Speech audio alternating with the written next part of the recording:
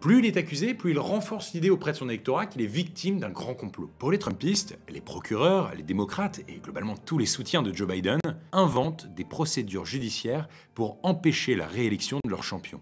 Et le premier qui l'a compris, c'est le champion. Le 26 janvier dernier, l'ex-président était condamné pour diffamation, sur fond d'accusation de viol, face à une ancienne journaliste du magazine Elle.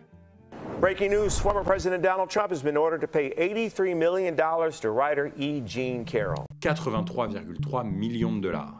Trump a beau être milliardaire, l'amende reste quand même sacrément salée.